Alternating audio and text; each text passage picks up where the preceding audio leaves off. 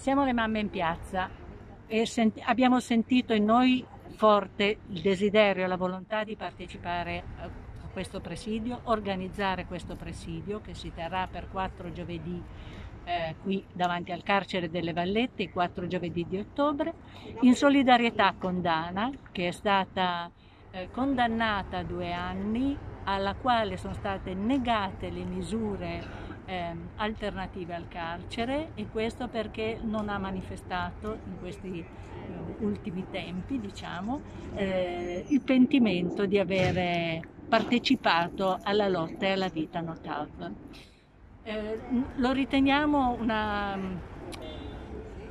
un'iniziativa, chiamiamola così, da parte della magistratura decisamente preoccupante. Avevamo già avuto in precedenza dei segnali con Eddi, con Nicoletta, con tanti giovani antifascisti che sono stati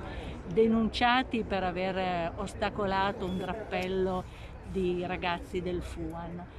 Una deriva preoccupante che ci, può, ci porta a far porterà, potrebbe portare a far tacere il dissenso, un dissenso che è il sale della democrazia che è giusto mantenere viva. La manifestazione alla quale Dana ha partecipato e per la quale ha subito la condanna a due anni era